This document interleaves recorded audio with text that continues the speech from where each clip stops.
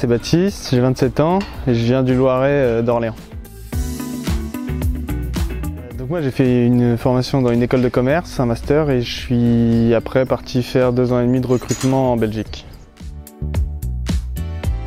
C'est une formation en un an, en formation continue, qui me donne la capacité de m'installer et de demander des aides à l'installation. Alors j'ai choisi Centre, c'est la chambre d'agriculture de ma région qui m'a orienté dans ce sens-là. Ah, et puis euh, j'ai eu une très bonne accroche avec les coordinatrices pédagogiques lors des entretiens. Alors le gros plus, c'est les coordinatrices pédagogiques, il y a un vrai accompagnement. Euh, elles s'investissent vraiment auprès euh, bah, des apprenants, donc c'est vraiment un plus. on a des éleveurs, donc moi je suis en Caprin, on a des éleveurs qui sont à côté et qui nous permettent de réaliser des travaux pratiques sur leur ferme. Donc euh, ça aussi pour mettre la main à la pâte, c'est vraiment euh, intéressant. Et euh, en plus de ça, la qualité des formateurs, chaque fois on tombe bien et, et voilà.